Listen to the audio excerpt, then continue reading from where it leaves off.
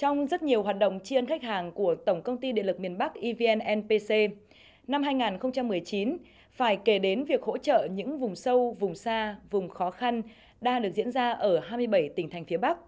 Đây là tinh thần trách nhiệm được duy trì và nhân rộng với rất nhiều hoạt động vì cộng đồng.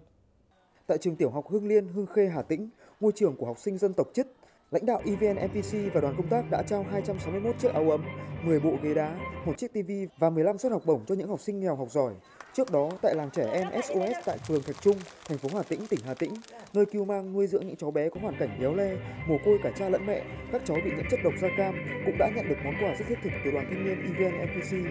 Còn tại điểm trường mầm non Phú Gia, các cô giáo và học sinh nơi đây đã rất xúc động khi đón nhận một hệ thống bộ cầu trượt, xích đu, sân chơi, thú nhún, 42 chiếc giường và chăn, 42 áo ấm cho 42 học sinh là người Lào có hoàn cảnh gia đình khó khăn. Trong nhiều năm, điểm trường này đã không có đủ dụng cụ sinh hoạt bình thường nhất, do đó những món quà này là niềm mong ước rất lâu của cô giáo và học sinh nơi đây. Tất cả những hoạt động thiện nguyện đến với những điểm trường xa xôi và vô cùng khó khăn của huyện Hương Khê, tỉnh Hà Tĩnh lần này là những việc làm có ý nghĩa trong tháng chiên khách hàng, tạo được sự gắn kết, lan tỏa trong xã hội, đưa hình ảnh ngành điện ngày càng trở nên đẹp hơn và gần gũi trong cộng đồng.